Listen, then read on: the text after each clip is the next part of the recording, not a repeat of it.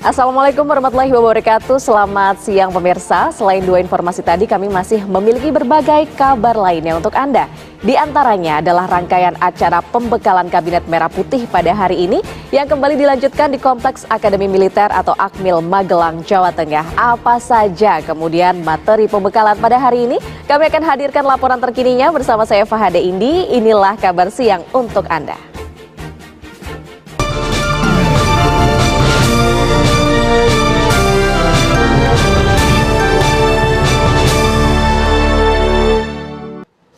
Pemirsa kita awali kabar siang hari ini, kebakaran menghanguskan dua rumah warga di pemukiman padat penduduk, tepatnya di Jalan Petojo Ancelek di Gambir, Jakarta Pusat. Api berkobar hebat dari lantai dua rumah warga. Upaya pemadaman oleh petugas Sudin Penanggulangan Kebakaran dan Penyelamatan Kota Jakarta Pusat terkendala kencangnya tiupan angin dan sulitnya sumber air. Sebanyak 17 unit mobil pemadam kebakaran pun dikerahkan untuk memadamkan api. Api diduga berasal dari hubungan arus pendek listrik, namun tidak ada korban jiwa dalam peristiwa ini.